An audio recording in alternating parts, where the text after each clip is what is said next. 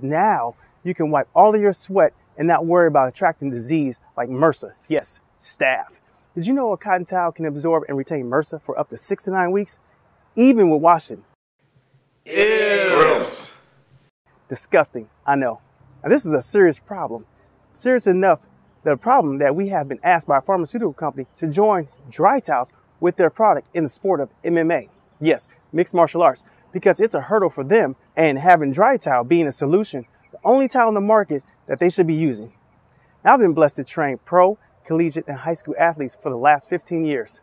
Learning how nasty regular cotton and microfiber towels are, I set out to create the perfect towel for clients. Then the word spread and the journey began. These aren't just any clients.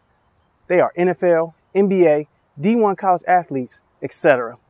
Five years ago, while training my pro athletes in Atlanta, one of the guys said, Hey, Reg, can you grab some more towels in the back? I then said, Hey, I'm not a towel boy.